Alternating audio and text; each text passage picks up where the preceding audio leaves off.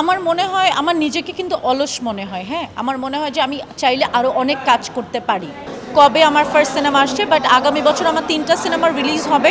তো আপনারা তো ডেফিনেটলি সবাই আসবেন, আপনারা থাকবেন পাশে মুভির রিলিজের সময়। মানে আমার যে ফ্যামিলিতে জন্ম হয়েছে, সেই ফ্যামিলিতে না জন্ম হয়ে আমার অন্য কোনো পরিবারেও জন্ম হতে পারতো। সো আমি আসলে সবসময় ব্লেসড ফিল করি নিজেকে।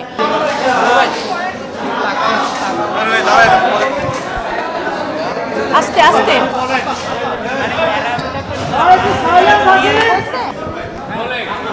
না না আমার তো অ্যাওয়ার্ড নিয়ে কোনো মাথা ব্যথা নাই।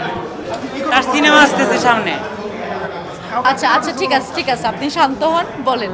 বলেন যাব আমরা রোল দিব। ওকে ওকে। হ্যাঁ বলেন। জানতে চাই একটা ফ্যাশন ফেস্টে আসছে। আসলে ফ্যাশনকে আপনি কীভাবে দেখেন বা আপনার ফ্যাশন নিয়ে একটু জানতে চাই।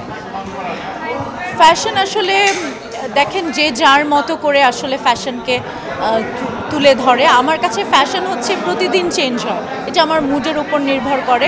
আর আমার মনে হয় ফ্যাশন হচ্ছে মানুষের ব্যক্তিত্বকে প্রকাশ পায় ফ্যাশন। এবং আমি আসলে আজকে আমার যেরকম শাড়ি পরতে ইচ্ছে করছিল, তাই আজকে আমি শাড়ি পরে এসেছি। আমার হয়তো এক এক দিন এক এক কিছু পরতে ইচ্ছা করে। সো ফ্যাশন আসলে এটা আমার মনে হয় প্রতিদিন চেঞ্জ হয় আচ্ছা আহ, আরেকটা বিষয় জানতে চাই যে সামনে মুভি আসছে মুভির ইস্যুটা নিয়ে আগে জানতে চাই তারপরে আহ, আরও কিছু বিষয় সামনে মুভি আসছে ইনশাল্লাহ ফেব্রুয়ারিতে আপনারা জানতে পারবেন যে কবে আমার ফার্স্ট সিনেমা আসছে বাট আগামী বছর আমার তিনটা সিনেমা রিলিজ হবে।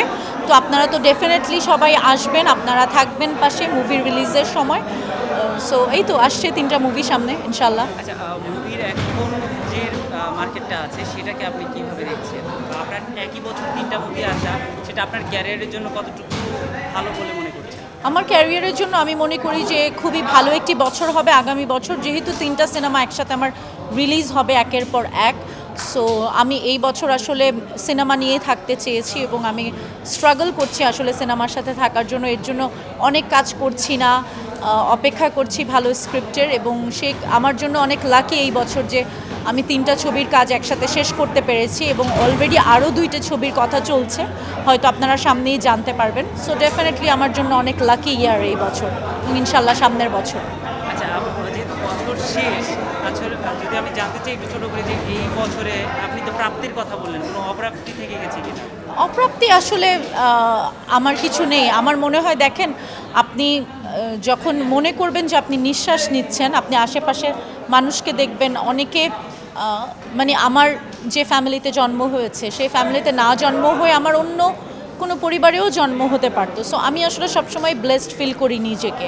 আর অপ্রাপ্তি আসলে বলতে কিছু নেই। বেঁচে আছে আর এর চাইতে বড় কিছু কি হতে পারে?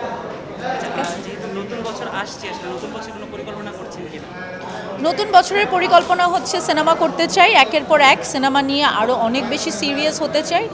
এবং যেরকমটা এই বছর করলাম সেই ধারাবাহিকতা যাতে থাকে যাতে একের পর এক সিনেমায় কাজ করতে পারি সেটাই হচ্ছে আমার ইচ্ছা। আপনারা দোয়া করবেন যাতে কাজ করতে পারি।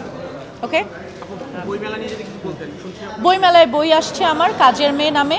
কাজের মেয়ে নামে আমার উপন্যাস আসছে মিজান পাবলিশার্স থেকে। সো প্রত্যেক বইমেলায় যেরকম আমার বই থাকে সো এবারও সেটার ব্যতিক্রম নয় ডেফিনেটলি বই আসবে। আচ্ছা সবশেষে হ্যাঁ বলেন বলেন। একটু জানতে যে যেহেতু নির্বাচনী হাওয়া বইছে।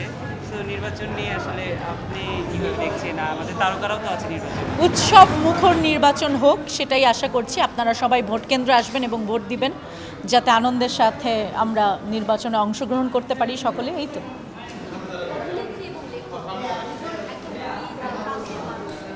যখন আমরা স্ক্রিন দেখি তখন একরকম চরিত্রকে ভাবনাকে দেখি বিভিন্ন চরিত্র একজন ভাবনাকে দেখি।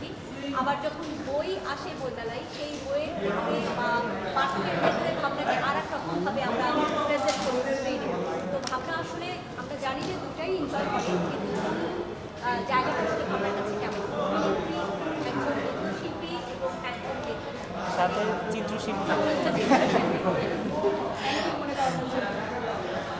আহ এইটা কি বলব, এটার উত্তর আমি আসলে ঠিক সঠিকভাবে দিতে পারব কি না আমি জানি না।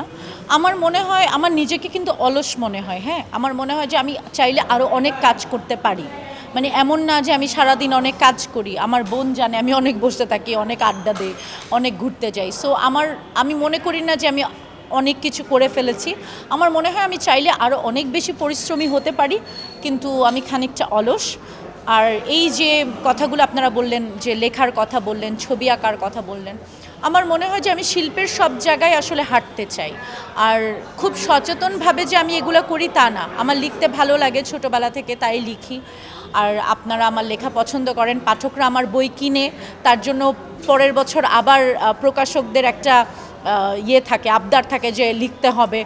সো দেখা যায় যে অনেক প্রকাশককে নিরাশ করতে হয় যে, কারণ আমি অভিনেতা যেহেতু so acting is a very demanding job আমি চাইলেই আসলে অনেক কিছু করতে পারি না, কারণ শুটিং যখন থাকে তখন আমি কিছুই করতে পারি না।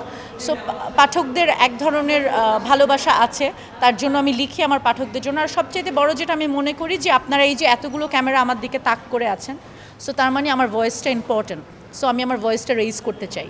এবং আমি যখন চলে যাব, আজকেও মরে যেতে পারি, কালকেও মরে যেতে পারি, আমি যখন চলে যাব, আসলে আমার বইগুলো থাকবে। এখন হয়তো আপনারা অনেকে পড়েন না, কিন্তু আমি যখন মরে যাব, তখন হয়তো আমার বইগুলো থাকবে। তখন হয়তো আমি আসলে কি বলতে চাচ্ছিলাম সোসাইটিকে বা আমি কীভাবে ভাবি আমার জীবনকে, সেটা আমার বই, আমার পেইন্টিং আমার কাকের ছবি আঁকতে ভালো লাগে কারণ কাককে আপনারা পছন্দ করেন না। কাককে সবাই বলে অসুন্দর পাখি বাট আমার কাছে মনে হয় কাক সবচেয়ে সুন্দর তাই আমি কাকের ছবি বেশি আঁকি। সো যেরকম আমার নেক্সট যে উপন্যাসটা আসছে সেটা আপনাদেরকে বলে দিই নাম হচ্ছে কাজের মেয়ে। মিজ মিজান পাবলিশার্স থেকে আসবে। তো কাজের মেয়েটা কেন আমি রেখেছি? আমার বইয়ের নাম আমরা সবাই আমাদের বাসায় আহ, অনেকে হেল্প করে আমাদের মেয়েরা আসে। সো আমরা এমন একটা নেগেটিভ সুরে কাজের মেয়ে কাজের মেয়ে বলি বাট আমার কাছে খুব খটকা লাগে যে কাজের মেয়ে মানে তো মেয়েটা অনেক কাজের, তাই না? সো বা কাজের ছেলে মানে যে ছেলেটা অনেক কাজের রাইট তার মানে ও কাজের একটা মানুষ মানে পজিটিভলি বাট যে মানে নেগেটিভলি যেভাবে বলে, কাজের মেয়ে কামের ছেড়ি, ওইটা আমার কাছে খটকা লাগে সোসাইটির তো দ্যাটস ওয়াই আমি এই নামটাই রেখেছি যে কাজের মেয়ে আসলে মেয়েটা অনেক কাজের। এই কথাটা আমি বলতে চাই সোসাইটিকে। সো আমার প্রত্যেকটা বইতে আমি একটি মেসেজ রাখার চেষ্টা করি একদম শক্তভাবে। সো সেটা তো আমি বলতেই থাকব আসলে। সেটা আমার পেন্টিংয়ের মাধ্যমে হোক, আমার কবিতা হোক, আমার উপন্যাস হোক, লেখালেখি হোক আচ্ছা আপনার এই কথা সূত্র ধরেই আরেকটা মানে আমার জন্য একটা লাস্ট কোশ্চেন আগামী বছর তিনটি সিনেমা আপনার রিলিজ হচ্ছে এবং কিছু তিনটি সিনেমা তিনটি ক্যারেক্টার এবং ক্যারেক্টারগুলো পছন্দ হয়েছে তার ফলে আপনি চুজ করেছেন সেই জায়গা থেকে একটু ডিফারেন্সটা আমি একটু জানতে চাই ছোট্ট করে।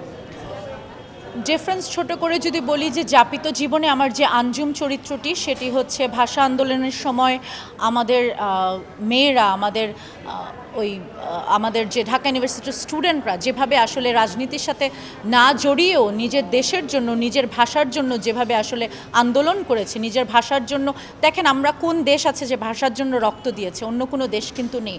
সো ওরকম একটি মেয়ের ক্যারেক্টার আমি প্লে করেছি আনজুম, আর দামপাড়ায় আমি করেছি মাহমুদা হক, আন্টি এখনও বেঁচে আছে বাংলাদেশের ফার্স্ট ফিমেল অ্যাম্বাসেডর আমি তার ক্যারেক্টার প্লে করেছি। আর পায়েলে যে ক্যারেক্টার প্লে করেছি সেটা এখন বলতে চাচ্ছি না, আমি চাই যে রিলিজের সময় সবাই দেখুক। সো একটার থেকে একটা ক্যারেক্টার আসলে ডিফারেন্ট আপনারা ডেফিনেটলি যখন রিলিজ হবে তখন আপনারা জানতে পারবেন বুঝতে অনেক আশা আমি আসলে সিনেমার সাথেই এখন থাকতে চাই আপনারা দোয়া করবেন পাশে থাকবেন যাতে আমি অনেক সিনেমা করতে অনেক সিনেমা করতে পারি এবং মানে এমন সিনেমা করতে পারি যে আপনাদের ভালো লাগবে অলসতা কাটিয়ে ওকে ঠিক আছে থ্যাংক ইউ হ্যাঁ